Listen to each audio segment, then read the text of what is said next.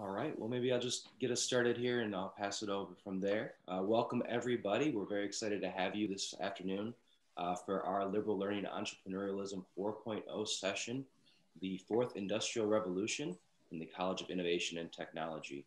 My name is Nick Custer. I'm program manager through the Office of Economic Development for our EDA University Center for Community uh, and, and, Economic Development, uh, which serves as a resource both to campus and community, providing no cost business counseling and expert led discussions and workshops like this today. Um, if you haven't yet heard of us, I'm going to go ahead and put our web address in the chat uh, as we get started here. And again, if you're thinking about starting that business or nonprofit, if you're already working on your big idea, we want to be here to help guide you through that process. Um, so with that, I'm going to pass it over to one of our great colleagues, Dr. Roy Barnes, the Associate Dean for the College of Arts and Sciences. Thank you very much, Nick, and welcome to everybody who's joining us. Um, I, I want to just start off with a couple introductory remarks about the Liberal Learning and Entrepreneurialism uh, series, which is actually in its fourth year. About five years ago, actually, I was touring the what was now what is now the Ferris wheel, and I was talking with David Olilla, and he was saying about entrepreneurialism and what it takes to be an entrepreneur as we're walking around the building in hard hats and and climbing over avoiding holes in the in the concrete. And he was talking about things like risk taking. He was talking about things like um, not being afraid to fail taking risks um, learning from failure learning um, being able to pivot being able to change what you're doing um, as circumstances uh, demand. And the more and more he talked about it I, I, the more and more i thought man, he's actually talking a lot about what liberal learning is about. Because really, liberal learning is about how to problem solve, how to think differently uh, when context changes, um, how to learn from failures, how to reflect on your learning. And so I put the two together uh, a few years, uh, four years ago, and we started this series on liberal learning and entrepreneurialism. And so given that this is the fourth year that we're doing it, it, it also corresponded to what I see as, well, to what is the now known as the fourth industrial revolution or industry 4.0. And so there was sort of this nice convergence of two things, the fourth year of the liberal learning series, and then this, no, these notions about liberal learning uh, uh with about the fourth industrial revolution. So with that sort of brief introduction, uh, we'll get into we'll get into the talk. So I want to thank deeply thank our provost Sanja Feast Price for joining us and the inaugural dean of the College of Innovation and uh, Technology, Chris Pearson, uh, for participating in this talk. And so with that, I'm going to start off with a question. Uh, with this series, with this session being focused on the College of Innovation and Technology, I, I want to begin by just asking both of you, what are your visions for the College of Innovation and Technology and as, as, the, as the university's first um, academic or newest academic unit? And so Chris, as the dean of the newest academic unit, let's, let's start off with you. Yeah, thank you, Roy. It's a pleasure to be here today.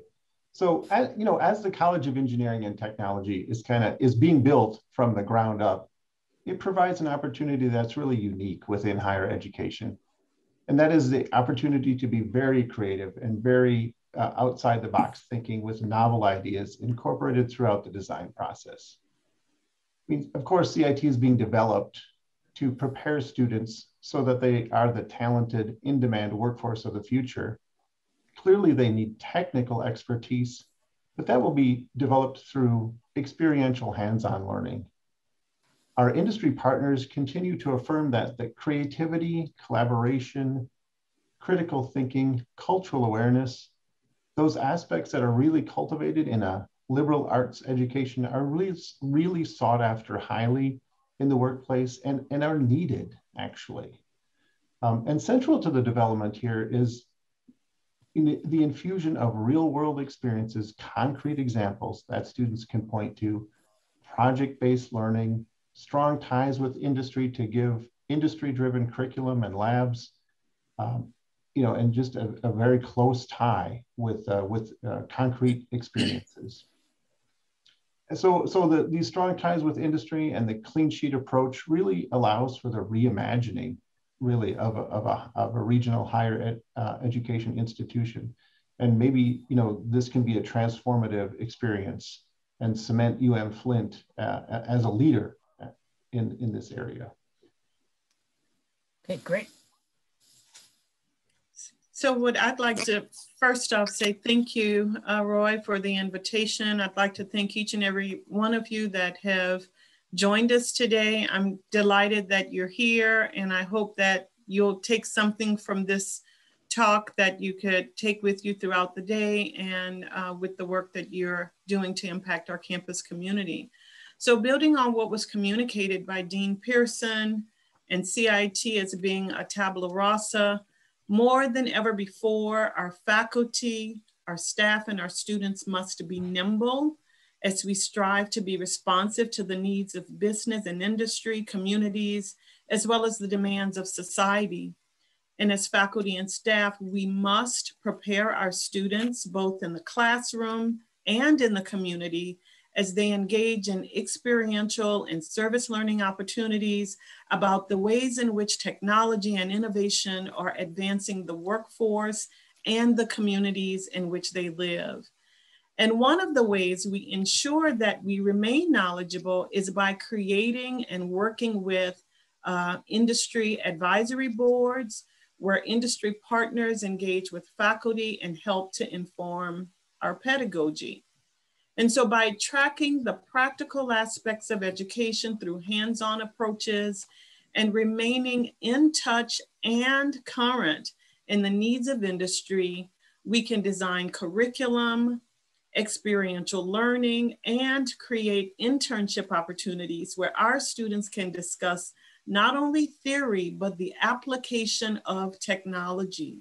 So for our students who are not pursuing degrees in the College of Innovation and Technology, we must also ensure that they too have requisite knowledge about the ways in which technology and mm-hmm. innovation are transforming almost every aspect of the world as we know it. So I'll stop there. Oh, thank you. Thank you, Provost. So there's certainly a lot here, um, and I want to get back to some of the specifics about um, new or thinking about our pedagogy differently, the importance of industry advisory boards, and certainly a topic that's near and dear to me is the integration of the liberal arts with the uh, College of Innovation and Technology. But I want to keep these introductory comments um, at a little bit higher level of abstraction as we get, get the talk going. And I want to sort of first um, talk about connecting the points about technological foundations with some of the broader issues or the technological innovations, I'm sorry, with um, some of the broader issues of the prior three industrial revolutions. Uh, this is the fourth industrial revolution, which implies that there's three earlier ones. And so can we talk a little bit about, or can you highlight some of the analogies of what you see in the prior industrial revolutions in terms of, say, the steam engine in the 18th century, electricity, and computers, um, with what's with what's going on, sort of with the um, in in society at the time, and then we'll pivot and talk a little bit more about what are the say differences with the fourth industrial revolutions and what you're seeing in terms of societal impacts and implications for everything from our daily connecting things at our home to um, how we do higher education. So um, I'll leave it with that. So um, Chris, why don't you go again? And we'll see, Great. see, yeah, see, what, see what comes up. Yeah, right. So, you know, as Roy mentioned, you know, if this is the fourth, there need to be three addition, uh, three previous ones, right? You know, uh, we started with with steam power, right? So steam engines gave rise to transcontinental railroads, among other things. But that really dramatically changed transport, transportation and society, right? Mass production, that dramatically changed economic class because it allowed the working individual to afford a car. Computers changed the way we do business and communicate with each other, and that dramatically changed the workplace and how work is done. So now today, some of these technologies like artificial intelligence, machine learning, big data, cloud computing, Internet of Things, right? These are the technologies that are changing society today. So during the first three industrial revolutions, kind of what was common is that the skills the workers needed to keep ahead of the machines were largely cognitive, right? Machines were doing routine tasks and manual tasks. And the cognitive stuff, the cognitive tasks were the exclusivity of humans. Higher education contributed with engineering emerging as a discipline in response to the needs of mechanization and mass production. And then computer science emerged in response to the increasingly complex algorithms needed, for example, for one example, to land a person on the moon and return them safely to Earth. So, so, so what's unique then about the fourth industrial revolution is that it changes this situation. The proliferation of artificial intelligence and machine learning means that humans no longer are assured of being the cognitive champion. champion. Thinking or non-routine tasks will increasingly be done by machines and machines will be able to process more quickly more cheaply and with fewer errors than their human counterparts. So as artificial intelligence begins to impact the workforce and automation replaces some existing skills, then some other skills like emotional intelligence, creativity, and critical thinking need to be augmented. So I'll, I'll stop there, pause there for a moment.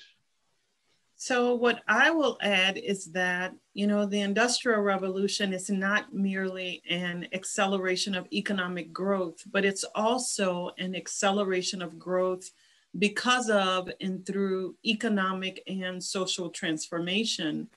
So, social and educational transformation from the first three industrial revolutions give rise to the transformation of the fourth industrial revolution so, with the first industrial revolution, there was a vision of a new kind of a curriculum with a more diverse set of degree options.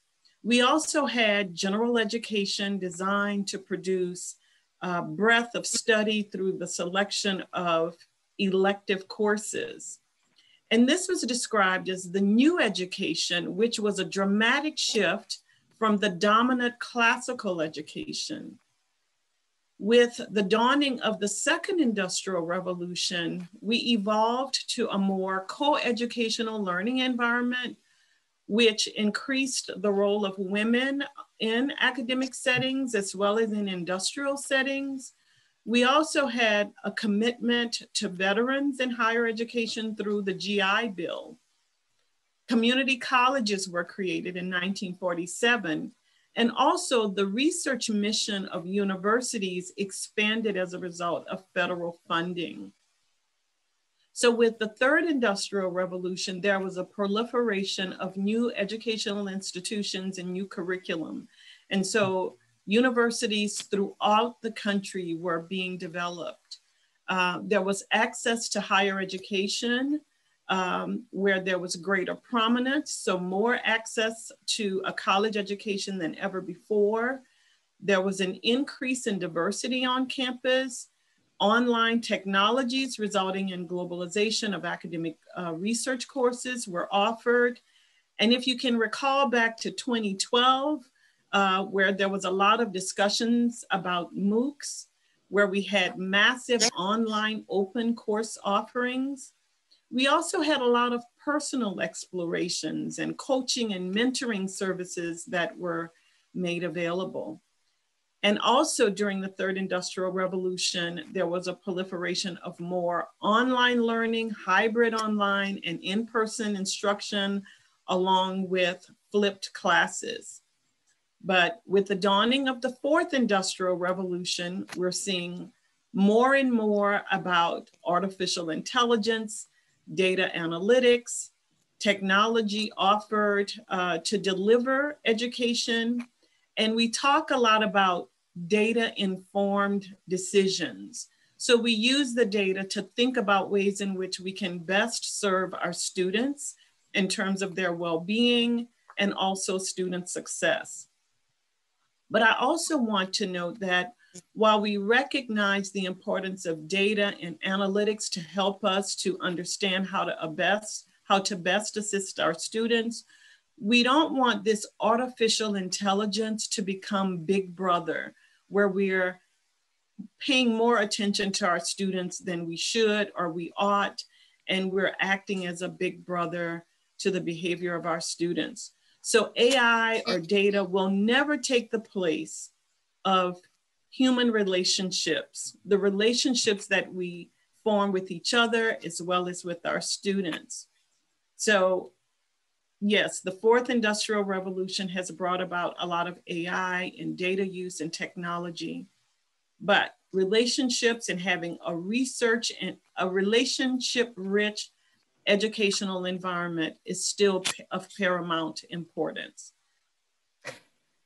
So thank you. I mean, so Chris, you highlight that humans won't be the cognitive champions anymore or in, in the new in the near future. And Sonja, you've emphasized the need for a relationship rich, rich education. So beginning with you, Sandra, how is the, the fourth industrial revolution say qualitatively different? I mean, I could ask the question, well, you know, the changes that you both have talked about, well, you know, they're going to they're going to unfold in time, right? Um, you know, I think progress takes you know progress takes time, um, and that the effects of these changes, the effects of the, these innovations and the new technologies, well, they're going to be gradual, and you know, social institutions will have time to adapt, and and including higher education. So, with that sort of how would you respond to that sort of a that that sort of response to to what you've said in terms of what's knocking at the door in terms of the fourth industrial revolution? Yes. So you know with the fourth industrial revolution we stand on the brink of a technological revolution that will fundamentally alter the ways we live work and relate to one another its scale, its scope, and complexity, the transformation will be unlike any other we have ever seen in our existence. And hearkening back to Chancellor Dutta's uh, presentation, he referenced uh, Klaus Schwab, uh, who noted, he talked about the velocity, the breadth and depth, and mm-hmm. the systems impact of the fourth industrial revolution being like none we've ever seen before. So, as it relates to velocity, the speed of the current breakthroughs that we're seeing in this fourth industrial revolution is unprecedented. So, with AI and automation and the use of data analytics, it's really changing the world much faster than any other industrial revolution. And it's due to the internet you know, we mm. are more interconnected as a world than we have ever been before. And as it relates to breadth and depth, these technologies are changing our economy, business, society, and people. So if you think about it, entire systems of production, management, and governance are changing as a result of this fourth industrial revolution. Also, there's a systems impact. With the fourth industrial revolution, we're likely to impact entire systems of societies across societies at every level of social organization. So if you think about AI and its modern conveniences, it's pervasive. So think about we the fact that we're evolving to a place where we're having more and more self-driving cars, we have drones, we have virtual assistants. We're able to order cabs via our cell phones. We're booking flights and buying products and making payments, listening to music and watching film and playing games in ways that we have never done before. And you know, the list goes on and on. These are only a few ways in which AI is influencing our lives on a daily basis. And persons who continue to gain the most from the fourth industrial revolution are those who are able to afford and access this digital world. But according to some economists, the fourth industrial revolution could yield greater inequality and inequities than we have ever seen before, especially when you think about the ways in which AI is disrupting labor markets. So job market, the job market is increasingly separated into low skill, low pay positions and high skill, high pay positions, which is causing a greater rise in the wealth gap in mm. this country. So I'll stop there. Uh, yeah, I will follow up by by you know reiterating what the what the provost has just mentioned about you know the disruption and the speed of the transformation. I mean this this fourth industrial revolution is as significant as the previous revolutions, and it's going to lead to an entirely new way of working and thinking. Uh, the provost mentioned a few examples, but within higher education, right, we have higher education has for for uh, most of its uh, entirety focused on the development of cognitive skills and not so much on the development of technical or emotional skills. But in the future, graduates, preparing graduates only with cognitive skills will not be sufficient. Future tasks will require creativity and intuition to solve problems whose solutions require great leaps of imagination and novel ways of thinking. And although there will always remain a demand for skills to program and test and oversee machines, the, these social skills and emotional intelligence, the creativity, the critical thinking, rather than the cognitive skills alone, will become increasingly important. Higher education will also need to account for this disruptive evolution. For more than 100 years, the Academy has been measuring students through a grading system that rarely encourages risk taking and, in fact, creates a fear of failure mentality. This is an area that requires a little bit of self reflection and change. I mean, this does not mean failing just for the sake of failing, but it does mean creating an environment that must be established for to, to remove the fear of failure and it allows students to focus less on what works and more on creative solutions that may be risky and unproven. Right? Organizations such as Tesla and Netflix have been very successful employing this type of model. Also, you know, the model of four years in school and then a career until retirement, that's changed. The boundary between being in school and being in a career needs to become more permeable without any penalties for crossing over from one to the other. Meeting students where they are at, whether it is an 18 year old FTIAC student or a 40 year old adult learner, we must continually think about innovative ways to create pathways for all to succeed.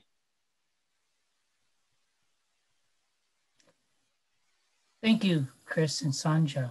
Um, I, I, I think the response in, in a nutshell to, to my sort of more naive question would have been changes are happening now, they're happening quick, and um, we better we better get ourselves prepared. And, and I think, Sonja, you make a really, really important part, point that these have societal impacts. It's not just technological change that's just going to affect manufacturing. This is going to affect every sector of our society and hence every every individual in our society. And so we need not only to think quick and fast, and we need to think carefully and interdisciplinarily because we're, we have social issues to deal with. We've got economic inequality issues to deal with.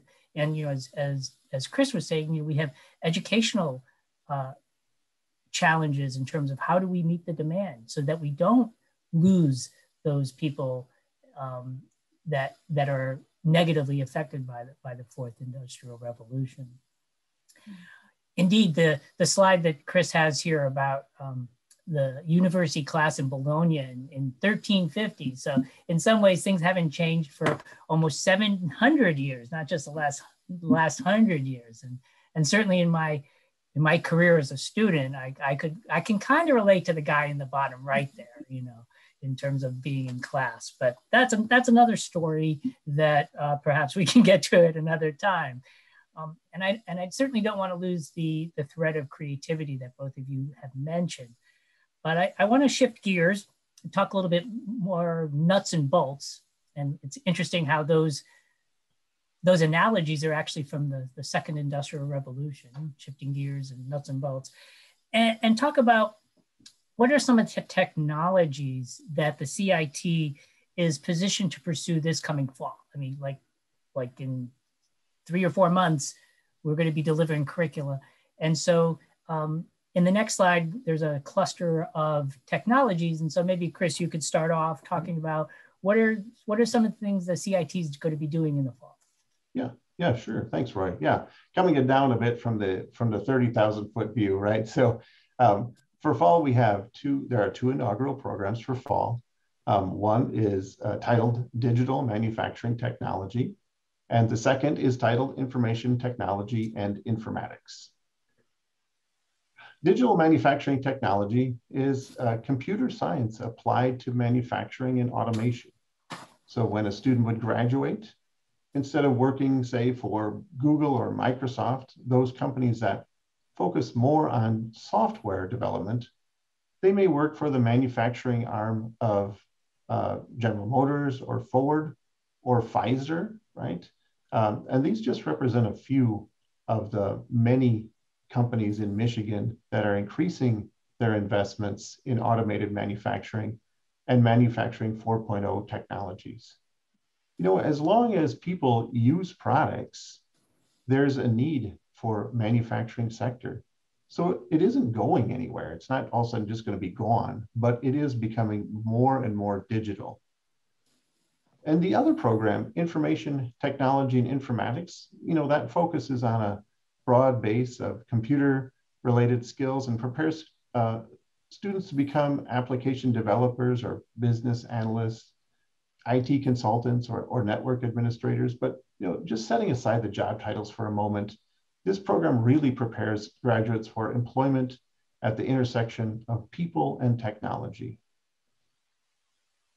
You know, um, future program possibilities, which include uh, biomedical technology, which of course is closely related to uh, precision, precision uh, medicine, right?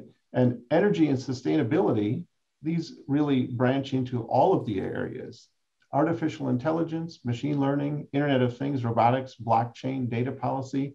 These are the ones that we'll be concentrating on for these first two inaugural programs. But going forward, right, all of these um, will will be in uh, curriculum in the in the very short future.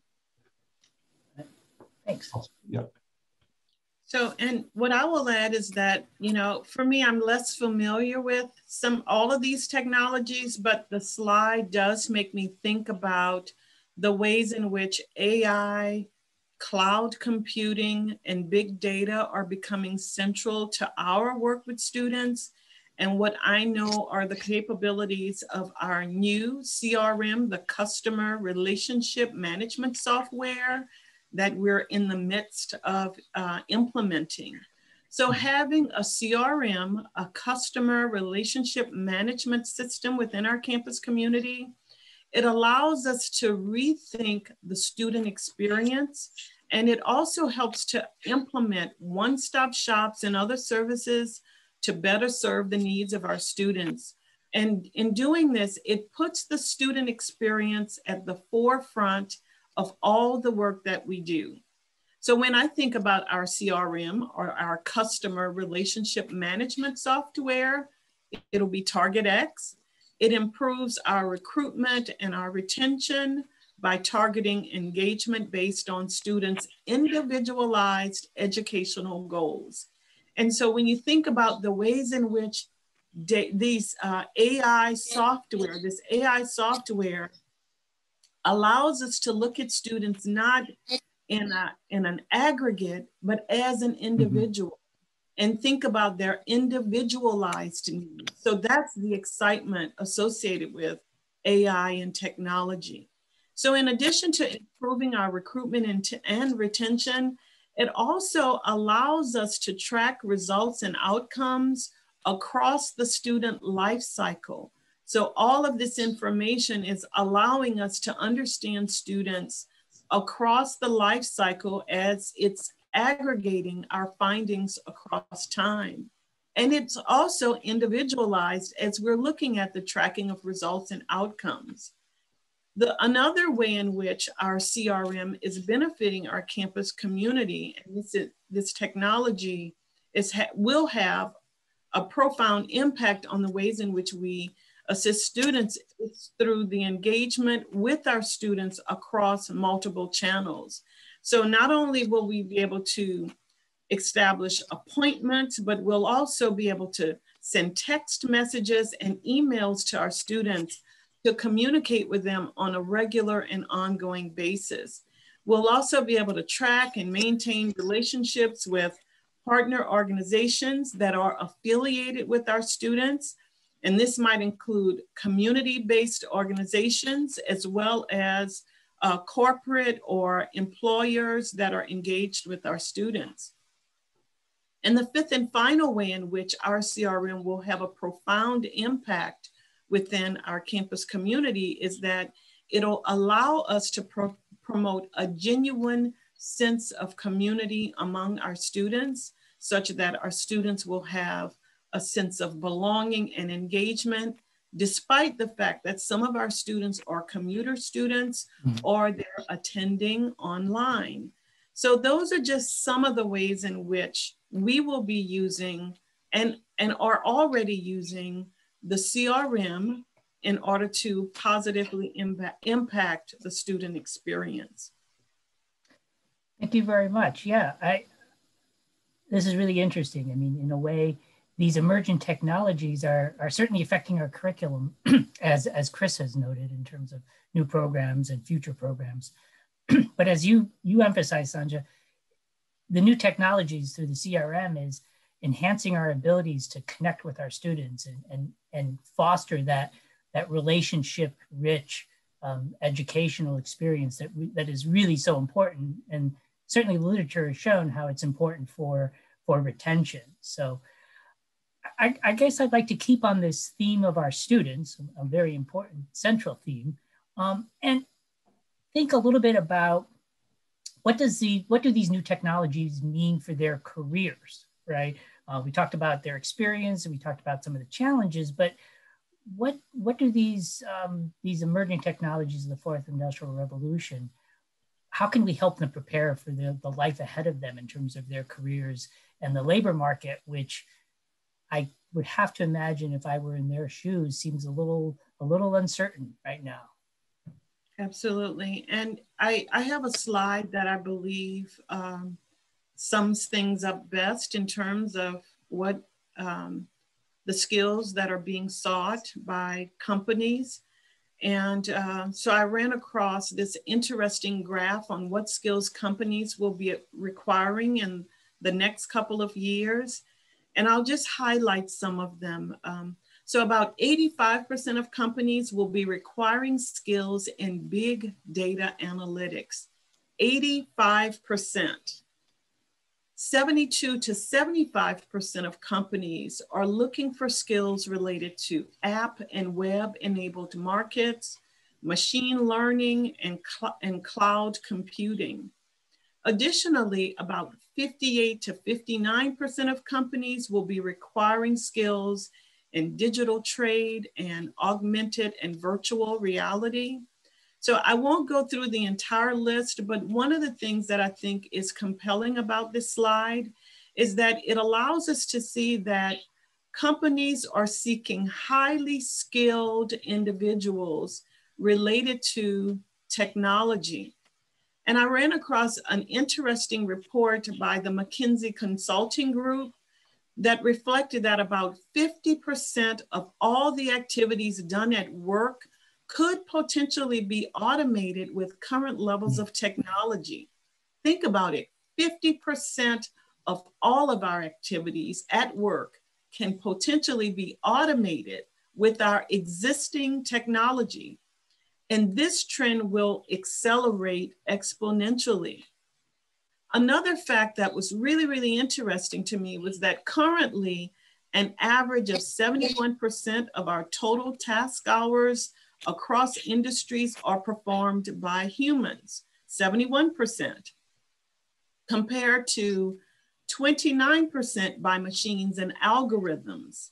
But by the year 2022, mm. this average is expected to have shifted to 58% of task hours performed by humans and 42% by machines and algorithms. So from 29% machine and algorithms to 42% by next year. So there are some jobs where human traits that are expected to grow, those jobs that require certain, certain traits, there are some that will grow over the next few years. And just to name a few, and I'll share more a little bit later, there are customer service workers, sales and marketing professionals, and training and development professionals. So what that says to us is that while there are things machines can do and do well, there are also there are also those professions that still requires the human touch. And so more will be uh, shared a little bit later about some of those jobs as well. Yeah, and, I'll, I'll follow up with the, you know, the provost gave some eye-opening statistics there. And, you know, I, I will follow up by saying, you know, not just for our students, but for everyone, and I'm going to put myself into that category, being more conversant in technologies will just will be required and important going forward, especially with how rapidly technology is influencing society in this fourth industrial revolution. I mean, regardless of discipline or what college or school a student attends, being conversant and reflecting upon technologies is needed. You know, what is machine learning? for example. I mean, I'm not really asking about, you know, what are the algorithms behind machine mm-hmm. learning, but how will it impact the work that you do in the future? And who is responsible for a decision made through a machine learning that adversely affects a sector of society? I mean, these are the types of rich discussions that we can have across all disciplines. Because, and, and it's important to understand this is a two way conversation, right? Because it's important for the people making the algorithms to understand the possibilities of what can happen. But it's also important for those that are making the policies to understand that, see, at, at least to some level of understanding how the algorithms are put in and what inputs uh, drive the decisions. So, I, you know, I think that's a great discussion that we have to have across all disciplines and, and get all backgrounds uh, uh, working together. Absolutely. Right, right. Yeah, I mean, the the statistic you cited, Sonja, about the amount of work being done by humans versus algorithms and machines shifting from clearly the lion's share, almost three quarters, to a little bit over half, is, in, you know just by next year is pretty shocking, um, let alone eye opening. and I would, I would say though, I, I mean, I, I'm I'm going to throw this in just I mean, in some ways, this is also an opportunity for us, right? Because if, in a way, something what you were saying was almost like, in, in terms of my own experiences and some of the things that I do, you know, it gives me time for more thinking and less work on number crunching, right? If, if we could get some of this stuff automated, I can think about things like how are we preparing our universities for the 21st century and the students in the fourth industrial revolution versus how to connect one spreadsheet with another spreadsheet and with VLOOKUPs and all this other kind of stuff, right? Mm-hmm. So, I mean, I think that there are some real possibilities to enhance what we do and not necessarily necessarily replace what we do, right? But that's going to take conscious effort on the part of higher educational institutions to prepare, as you were saying, Sonja, at the beginning, to prepare our students for that transformation. Because if they're not, they're going to they're going to be left behind. So with that in mind, I want to sort of think a little bit about the in-demand skills that are coming up. And so uh, if you could talk a little bit uh, we'll start with Chris maybe and talk a little bit about the next the next graph here, which talks about the in a way it talks about the changing demand of skills that Sonja sort of uh, prefaced in in her comments.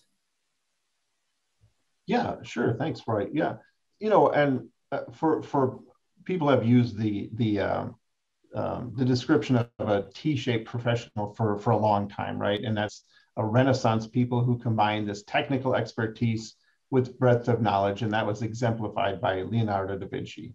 Um, you know, in our academic setting, the stem of the letter T represents the technical expertise, you know, regardless of discipline, again. And, and the bar of the T represents these 21st century skills that industry continues to affirm are vital for their employees. And the reason, you know, they want the best employees because they want obviously their their business to be successful on some of their you know to their uh, to their benefit um, and in all the conversations that i've had um, with industry partners you know they affirm that they need employees with skills in the in the creative problem solving that's on this chart the critical thinking the collaboration and cultural awareness that's on this chart you know that's a, associated with working with people. And regard everyone almost always starts the conversation by saying we need to have people with great communication skills right? Because we that that still is the crux of everything. And so these are all aspects that are again cultivated through a liberal arts education. And, and both we need to have both experiences within CIT, but then those experiences outside of CIT are critically important to make sure we get all types of viewpoints so people understand just you know going back a little bit to what i was saying before about getting multiple perspectives on, onto a problem. Um, so maybe we could go to the next slide here. You know as as kind of mentioned earlier excuse me as artificial intelligence begins to impact the workforce and autom- automation replaces some of those cognitive skills that that really were parts of the first three industrial revolution, there will be a need, for, increased need for other skills here, like for example, the emotional intelligence, mm-hmm. the creativity and critical thinking. Mm-hmm. Uh, future work will require creativity and intuition to solve these increasingly complex problems whose solutions require leaps of imagination. And you know, although there will always be this need for the, the testing and such, the the the need the in, the emotional intelligence the social skills the creativity they will become increasingly important yeah.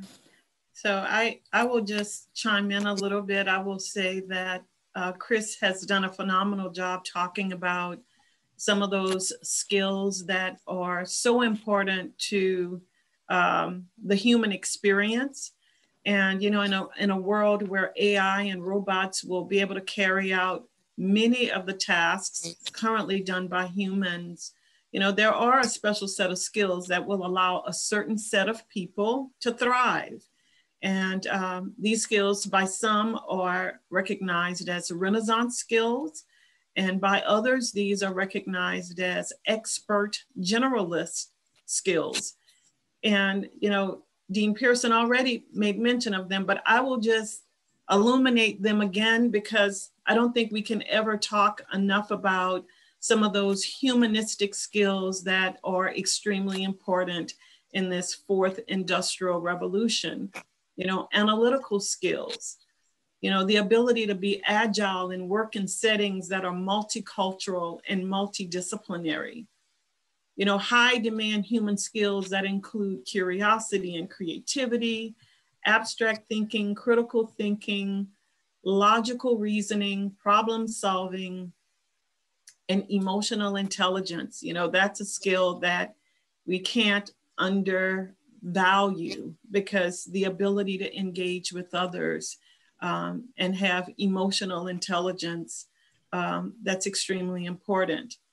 And so um, I, I just wanted to amplify some of the things that was already mentioned by Dean Pearson, and I'll stop there. Yeah, yes, indeed. I mean, I think the points that you made, um, you know, Chris, with your T-shaped analogy, and Sonja with your emphasis on, on, on sort of the the humanistic deeply humanistic aspects of learning outcomes of these skills really remind me of, of general education, right? Mm-hmm. I mean, if we think about general education, many of these points um, actually are central to a general education program. So, Nick, if you could click that, there you go. Thanks. Um, so, yeah, if you think about these 15, only three of them are very technical. Technical. The rest of them um, are throughout our, our, our based in our general education. And I think really the challenge to us is one of, you know, how do we communicate that? How do we strengthen that learning um, across, not just in the CIT, but across across the university? Mm-hmm. But I'm afraid time is getting short here. And so I want to make sure that we have room for two additional questions or maybe some more. Um, and so I want to first talk about um, how, yeah, how can the technological foundations of the College of Innovation Technology be integrated with the liberal arts to ensure that that, that general education, those outcomes are in fact part of what um, all students, not just, not just the future students of the CIT, but all students at the University of Michigan Flint uh, can benefit from. Mm -hmm. So um, yeah, Sonja, let's let's let's sure. Yes, at, well, at the general level. so um, CAS, our College of Arts and Sciences, they offer many of the academic programs that are related to CIT, including math, computer science, and engineering. But they also offer the less obvious degree programs that offer rich opportunities for the, some of those skills that we mentioned to be developed. So philosophy and sociology, anthropology, communication, English, there's more and more, I can go on. We know that technology often relies on um, content like logic and understanding society in order to make advancements. So that is why it's imperative that these two colleges work hand in hand to create opportunities to better prepare our students. The other thing I'll say is that it is important that we help students to understand the importance of some of these skills and the ways in which they can take these skills to advance their, um, their job seeking and their uh, career aspirations and opportunities. And so we wanna make sure that students understand the critical importance of all of these skills. But one of the things that excites me the most is that we have two dynamic deans, you know, Dean Pearson and Dean Gano Phillips, who are fantastic collaborators and colleagues they work regularly and often um, in terms of thinking about ways to advance the student experience, uh, to help with um, all of the possibilities that exist and not only now, but in the future, making sure that our student needs and industry demands are what will um, make our 21st century work, workforce the best. And these two deans are working in tandem and in partnership to make sure that students have the requisite skills needed. Thank you. Yeah, um, yeah, thank thank you, Provost, for those for those kind words. And I also, you know, want to chime in here and say that I think it's really great that skills are the central point of the discussion here because industry continues to move towards this skills over degrees model. You know, and this is just another one of the things that challenges us here in this in the in our in the way we've developed higher education. Um, you know, we've put this in place, you know, more than hundred years ago, uh, but you know, we need to move beyond this model. You know, we as an institution, which not only means you know CIT and CAS, right, are the two great partners, but everyone, all all of the other units, and and actually everyone in this endeavor, we need to be able to be nimble and respond in ways that eliminate barriers for our learners you know, whether this is in what we offer, our product, or, or how we offer it, the different ways that we can offer it. You know, and for example, right, so thinking about the skills uh, idea again. So for example, suppose, suppose all students have e-portfolios to share with their prospective employers. You know, during a job interview, they would be able to point to a particular skill. You know, suppose it's skill five there, creativity, originality, and initiative you know, and show, and they would be able to have concrete examples and projects, not only from courses in their technical fields, but also from courses they complete in, you know, in history, philosophy, sociology, economics, whatever it is. Most assuredly, you know, that individual, that individual will go on to the next level of their interview. It's important to understand that their portfolio is rich because it contains these many different viewpoints and concrete examples that they can point to. Thank you, Chris. I I've always been interested. I've had a long history of being interested in e-portfolios, and and I think one thing about combining in a way creativity because you have to be creative in how you put together mm-hmm. your e-portfolio, right? And the more that you can sort of take ownership of that that project, the more engaged you will be, and the more excited you will be, and that'll show through in the interview as well, right? And that um, being excited about your learning and having that opportunity to reflect on your learning can be just so powerful. So yeah, thank you for bringing up that, that example. I really appreciate it. Um, before we close, I wanna make sure that we talk a little bit about entrepreneurialism. After all, this is liberal learning and entrepreneurialism. So we can't, we need to make sure that we get that in there. Um, so what does entrepreneurialism mean to you, um, both in terms of how higher education and the CIT can be more entrepreneurial.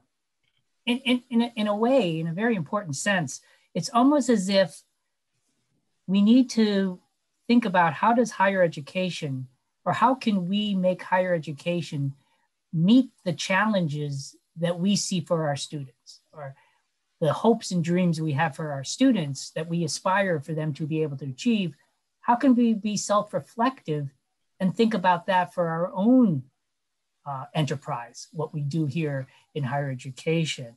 So Sonja, let's start with you and, and, and think about entrepreneurialism in higher education, and then Chris can talk about entrepreneurialism and, and the CIT.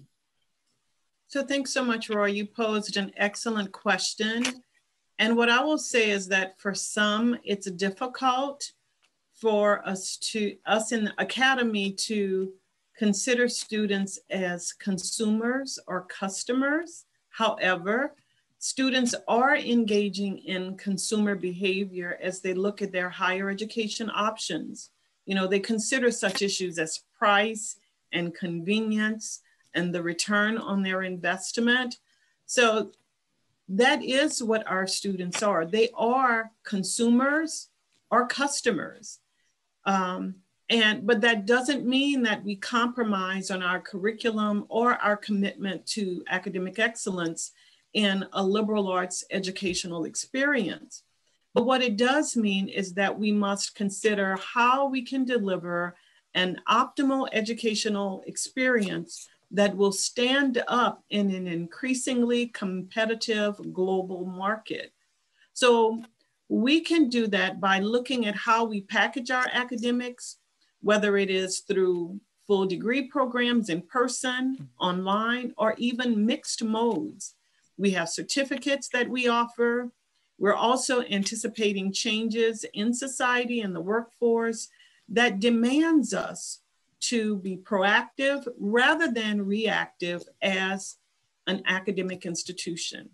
So at the end of the day, students do their best to feel that and to they do their best to feel that an academic institution is not only based on how they interact with a faculty, the staff, or the stu- or other students, but also they want those support services that help them to be successful. And, then, and that is where we must focus our attention. Mm-hmm. Stop there. Thank you. And, and, I will just, I, I mean, I would just follow that by, you know, by saying entrepreneurialism is is creating value in original ways. You know, today we've kind of touched upon areas, you know, in higher ed anyway, that are kind of long overdue for creative solutions. This skills over degree model, uh, the necessity of lifelong learning and how to meet students where they are at in order to eliminate any barriers you know, emerging technologies that we've talked about in the fourth industrial revolution and how this will influence not only the future workplace, but how, uh, how higher ed responds to that. You know, as, as CIT is being built through this clean sheet approach, um, you know, what really allows for novel and creative ideas, as kind of mentioned previously in the introduction. It allows for the reimagining of relationships with industry and government and the community. You know, in essence, it really is becoming an incubator for ideas, right? Um, and, and these novel creative ideas that are coming out has the ability to not only, we can leverage not only to provide innovative opportunities for our students, but we can also use that to cement UM Flint as an important piece of the regional economy by driving some regional economic growth. Excellent. Thank, thank you, Chris, and thank you, Sonja. Thank you very much for this. This has been a great conversation. I hope you've enjoyed it too. Um, Absolutely. If I can sum up sort of the arc of the conversation. So we've introduced changes that are ushering, ushered in by the fourth industrial revolution. And we've examined the skills our students need to be successful. And then I think in some ways, maybe even most importantly, we've reflected on our own practices and how we how we as an institution of higher education can be more responsive in cultivating the important skills that they will need, being innovative with our pedagogies, right? And more flexible in, in how we deliver our curricula. So I think, you know, in some ways, the, the arc of the conversation stemmed from everything from the nuts and bolts to our own self-reflection. Um, and all of this, I think, is to say that if we are successful in this in this project, if we are successful in reimagining um, higher education in the light of the fourth industrial revolution, I think we can be confident that we'll continue to be able to make sure that our students remain leaders and best. And so I think that is, um, I think that's so important. So I've seen that we've got some questions coming in already, um, and, and we've still got a good half hour here. Uh, but I am going to take advantage of my role as the moderator here and and insert a question because I um, actually yesterday I attended a, a, webinar on creativity and STEM, and it was just fascinating, really interesting. And so I guess I just want to focus a little bit more on creativity because in a way, creativity is about problem solving. Uh, when I tell when I tell students, incoming students at orientation about the gen ed program and, and the, that one of the learning outcomes has to be about creative thinking, I say, you know, creative thinking is not something that is, you know, just takes place in your sculpture class or your painting class or your music class. But if you're going to be innovative, if you're going to make an impact, if you're going to really push an industry or a business or a, even a discipline forward, you're going to have to be creative in your thinking, right? Um, that's the only way that we make real major steps, leaps forward in terms of our understanding is through creativity, creative thinking. So how do you think we can make, how, how do you think we can help infuse more creativity across all the disciplines and, you know, in the, in the, in the curricula that's, that's emerging in, in CIT. So um, whoever wants to go first, go for sure. it. Sure. Yeah. Uh, right. I can respond. Thank you, Roy. Yeah. I mean, so, I mean, we've hit that, you know, pretty solidly today that, that creativity is important and, and it's needed for the increasingly complex problems. We don't want to do just what works, but we want to develop this um, this environment where we can, you know, we can try the novel or maybe the risky solutions to to have that to encourage that creativity. So again, you know, I, I think for this endeavor to be successful, which it will be, it will be a successful endeavor. It it's it, it needs to encompass all, right? It, so it's you know, within CIT, we have to, within CIT, really encourage the creativity. But we also, when our students take classes across the institution, we also need to have, you know, we need to inspire the creativity in, in all those areas, right? Um, and, you know, just kind of, you know, drilling really down into, into CIT for a moment, there's this, how, how technologies can really kind of impact the creative process. For example, right? Um, for example, in, in manufacturing, right? We're going to drill really down here for a moment. In manufacturing, for, for tens of thousands of years, humans have used subtractive manufacturing technologies. That means taking something, removing pieces to end up with the product that you want, right? So the very first stone tools were made by hmm. subtractive mm. techniques. They chipped away the stone until they were left with something they wanted now, right, with the, with the new technology of 3D printing, which we now have available in all kinds of fascinating materials like carbon fiber and metals and everything, it really allows for the reimagining, a complete creativity. We don't have to think anymore about, I have to make this product by taking material away.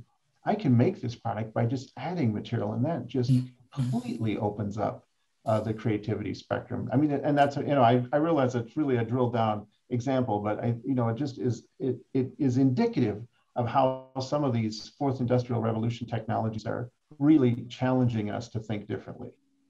Yeah, and what I will add is that I, I appreciate that analogy, Dean Pearson. I, I love the ways in which uh, creativity has evolved over time. You know, and I think about all of our disciplines. I think about all of our colleges and the ways in which we can foster and promote creativity. And I think sometimes it requires us to deviate from our, you know, our ways of teaching and ways of getting students to provide assignments to convey their knowledge base, giving students the ability to think broadly, to make mistakes, to make corrections, you know, helping them to do things in iterative fashion and also engaging with each other and having these conversations such that their thinking is broadened from other perspectives.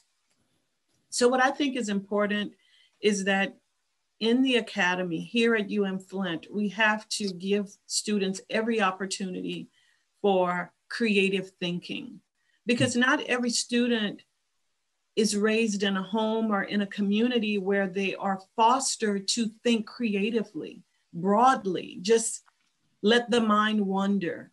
And I, I think it's helpful if in, in the academy, specifically at UM Flint, we, where we can give students the freedom, the freedom to be creative thinkers, give them the tools to be creative thinkers, and then watch them do what they do, which I'm sure will be beyond anything we can expect by giving them permission to do that such that it's not just focused on, oh, I got to get, I have to study for this test. I got to get this.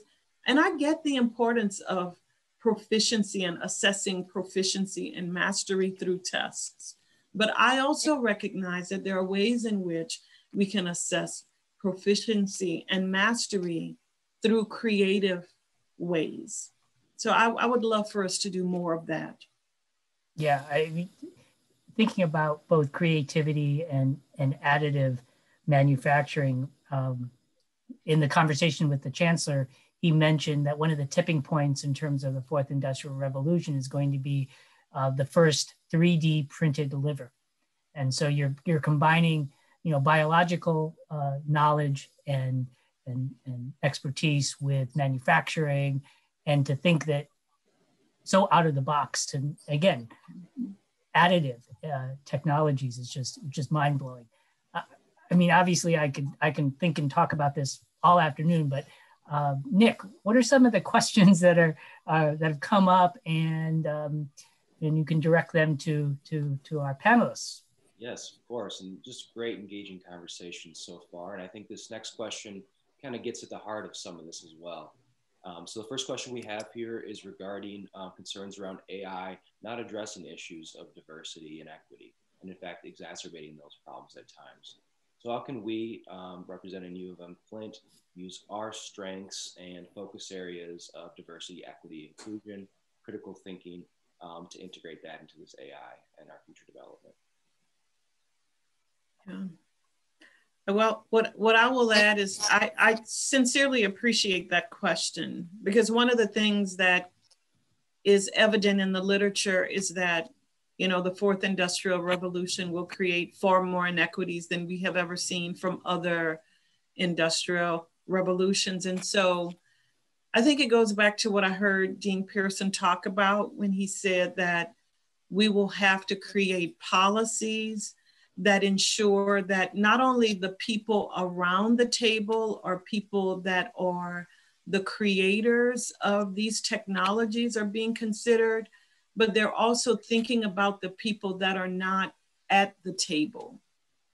Um, we have to be, we have to think about ways of ensuring that students understand the importance of technology irrespective of their major. So whether you're an English major, um, a nursing major, pre-med major, or someone majoring in digital manufacturing, we're always thinking about the, the implications associated with technology. We, we can't negate the fact that technology is a part of our society and will continue to be.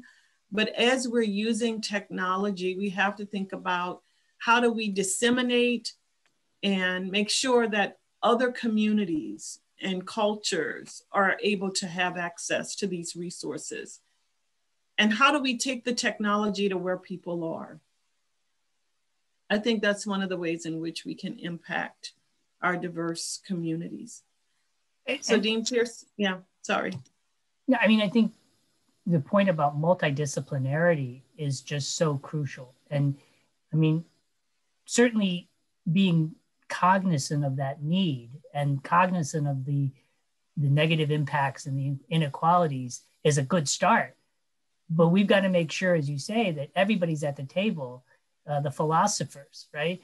The uh, people in the social sciences that are thinking about these new technologies as they're emerging. Because if we don't we're going to miss out. We're going to miss important important negative effects. And and we've got to make sure that those conversations are supported and um, are at this forefront of our of our decision making. Yes mm-hmm. indeed yeah and i would you know reiterate the example of of of, of, it, of the necessity of there being a, the two-way conversation right? We, we need to we we need the people that are setting the policy to at least understand at some level the technology but we also need the people creating the technology to understand what are the implications of the creation right? But but it's that's why it's great that we can we can be here in this institution where where we have all these wonderful colleagues to to converse with rather than just in just for example in a strictly school of technology right? Where we wouldn't have the ability to have these rich conversations with other colleagues in in in, in the various disciplines. But those are the conversations that need to be, in my opinion, need to be fostered and and uh, you know shepherded along so we can so we can develop these areas that allow both of those thoughts, you know, both uh, directions on the on the road. And I, I would just like to add, as we bring things up to our current moment, I think one of the things of the that uh, the COVID pandemic has illuminated is some of our inequities and disparities. Mm. So whether it's our college students or whether it's our, you know, K through 12 students that were forced to, um, you know, learn remotely and realizing the communities and the cultures and, you know, some people had access to technology while others didn't and how that will even deepen the divide associated with tech, you know, with learning and and advancements. And so the thing about the COVID pandemic is that it has illuminated some of the ways in which there are disadvantages in certain communities and, and how a segment of our society or segments of our society can be left behind as a result of some of these inadequacies or, or um, inequities. And so my hope is that, you know, with, with the evolution of the fourth industrial revolution, that, that we can be more cognizant of who's left out of the narrative and who doesn't have access to the resources. So if it's all right, I'll just jump to, uh, I think, other relevant question here, and we'll go back to the others we have. So this is from Dean Gano Phillips. Despite the ubiquitous impacts of the fourth industrial revolution and technologies on students, faculty, and everyone's daily lives, it seems that many individuals are challenged in thinking about their current or future work as being impacted by technological innovation. Some don't seem to connect the need to be technologically savvy or skill and skilled with their everyday use of these technologies. Do either of you have thoughts about how to engage more of our campus and community to move from being consumers of technology to being skilled members of the technology enhanced workforce, i.e., they don't have to major in DMT or ITI, but they will need to be more technologically savvy. Wow. Well, I will just say this before I pass it on to my colleague. To that was a phenomenal question, Dean Gano Phillips. I have to process some a good response or an even adequate response, but perhaps my colleague Dean Pearson might have a, an answer. That's a very good question. No, that is a fantastic question, and I think you know that it, it's one of the it's one of the main challenges, right? In in order for this um, for the conversation to move forward, we we it we need to understand and and all of, and you know and like pull on the same oar, if you will, that that technology uh, conversant, being being technology conversant is going to be a necessity, right? So, autonomous vehicles, autonomous vehicles in the future, uh, no machine machines aren't perfect because inherently they're programmed by people. So, mm-hmm. autonomous vehicles are going to have accidents that rely that are going to result in in tragedies. So, where where does the responsibility lie? So the, the people that you know are not developing the algorithms, but the people that are working on the policy or, or the lawyers or, or the society that needs to deal with that will have to at least understand what it, what does it mean to have an autonomous vehicle. So I, I think that the, the way to cultivate those experiences is just to provide as many examples from, from, the, from a person's own lens where they can see that this is happening within their, you know, within their lens. And then maybe trying to guide those discussions together, right? So getting people from their own lens to looking at the lens of being rather just a consumer to being involved, right? To, to being at least conversant and, and knowledgeable about technology. So yeah, but but I that's a, that's a fantastic question, and right, and if and if we can crack that one, we will be the leader of, of higher ed, actually. Yes, absolutely. And what I would like to add to the conversation is, you know, it, it made me think about a conversation I had in a meeting earlier today where we as a campus community, we are evolving with our technology and realizing that even as we have the technological resources that will bring us up to date into the 21st century. There are persons that have been doing things a certain way, the longhand way. And there are those that might be resistant to doing it in ways that are more expedient, more that are ways that are efficient and effective, which frees us up to do some other things better. And so we can give persons the opportunity to get up to speed and to learn how to how to allow technology to be our friend and to do our jobs and to do it better.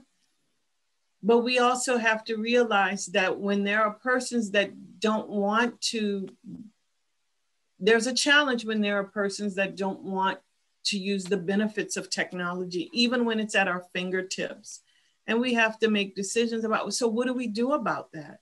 Because we can spend a lot of human hours doing certain kinds of tasks that if we use the technology we have it can be done in an hour whereas it could take days to do it in manual ways.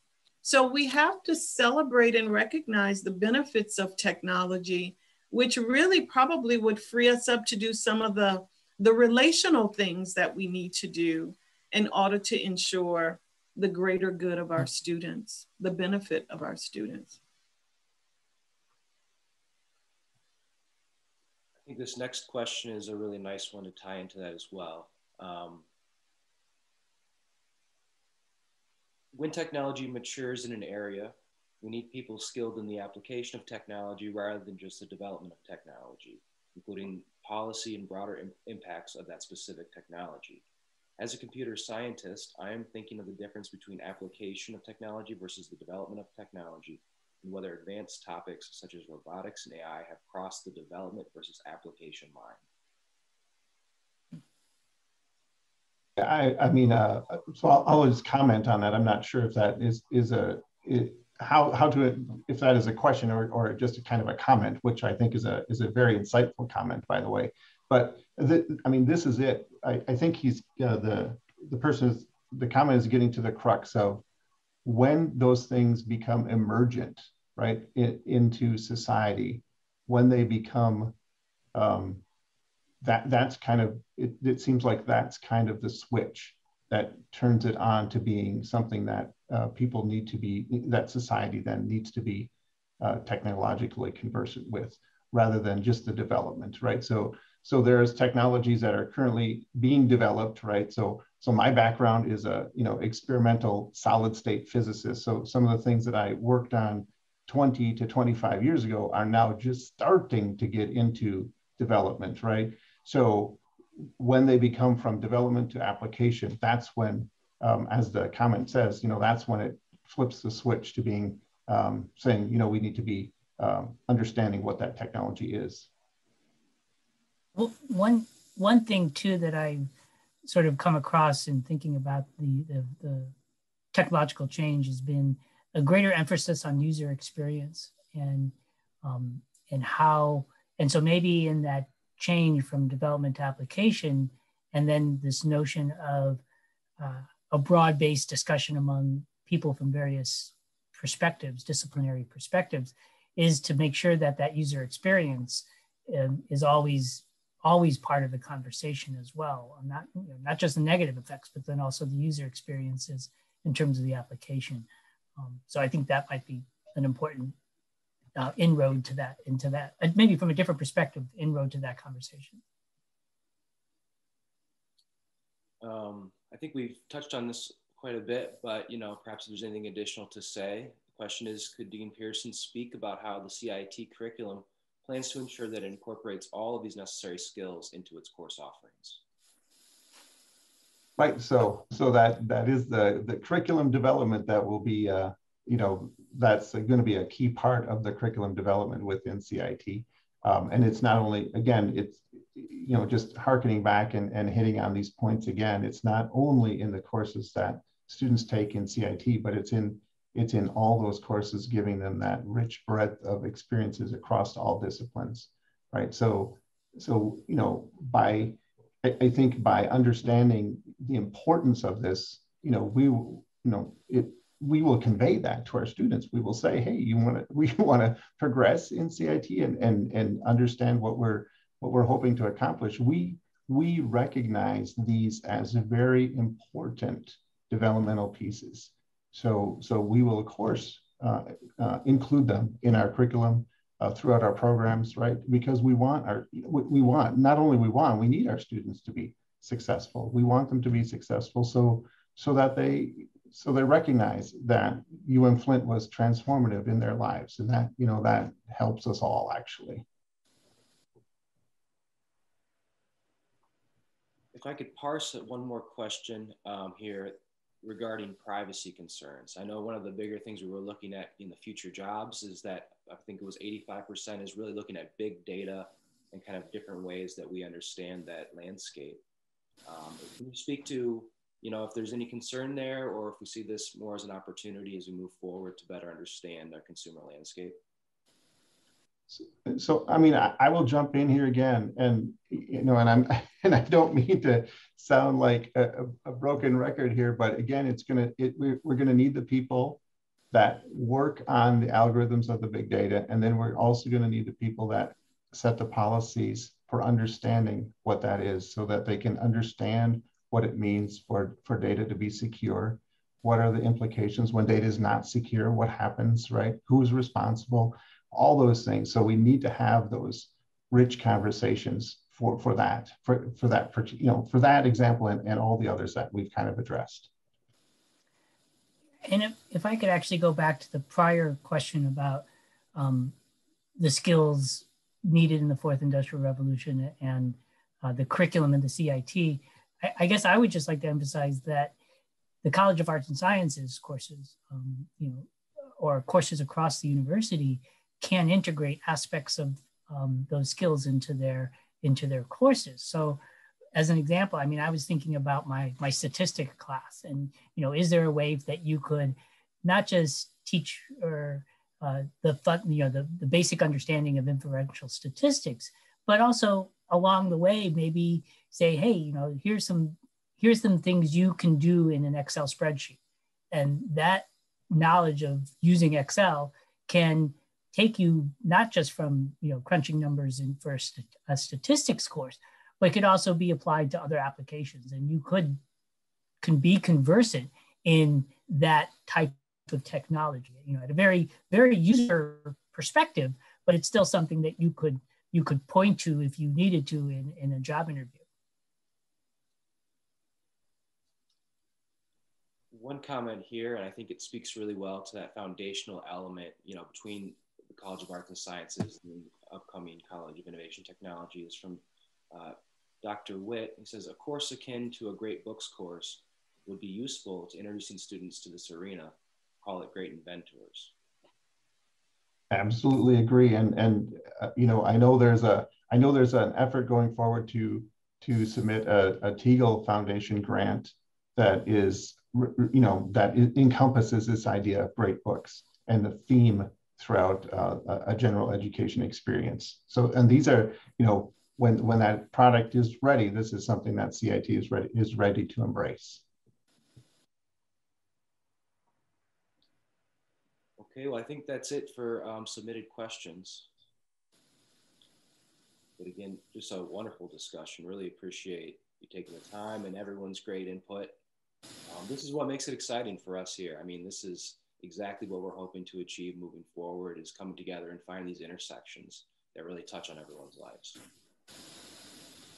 Yes, thank you very much, Nick, for for supporting us and and you know making sure everything runs smoothly. And and I certainly want to express my sincere gratitude to the provost Sonja Feist-Price and uh, my my dear colleague and former associate dean in the College of Arts and Sciences, uh, Dean mm-hmm. Christopher Pearson um, it's it's been a it's been an honor, but it's also been an immense pleasure. I I, I just think these conversations are so interesting and so important. Um, I really appreciate you taking time out of your busy schedules to to to think through some of these these topics. Well, Roy, I, I want to say thank you for the invitation. Um, I really appreciate the opportunity to be a part of the Liberal Learning Entrepreneurialism uh, lecture series. And I appreciate uh, having the opportunity to talk about the fourth industrial revolution and how it impacts our campus community, and also being a part of this conversation with my distinguished dean, uh, Chris Pearson. So it's been an honor and a pleasure. And I will just say thank you to Nick for being an outstanding resource to us and for those of you that are still here with us, thank you for staying and um, and and being a part of this experience to the until the end. Yeah, and, and I, again, I know, I just follow up and say I, I, too am thankful for for the invitation and for all those uh, people that attended and the great conversation that we had here following our uh, discussion. You know, and um, I, I, do I do want to reiterate, and I mentioned this last night at the at the alumni event you know, standing up a new academic unit, it, it takes a village, right? I know right. We're, we're, all, we're going to all, I, I know that I'm the dean, I understand that, but we're all going to have to chip in mm-hmm. for this mm-hmm. to be a successful endeavor. So, and I appreciate everyone's uh, willingness to do so, truly. It's been a, it's been a pleasure. So thank you. And one last plug. Um, in April, we're going to have Dean Gano Phillips uh, talk about the fourth industrial revolution and what it means for more specifically on what it means for our students. So stay tuned. Um, thank you all for your time and for uh, being part of this conversation. And um, we'll see you in April. Yes. Thank you.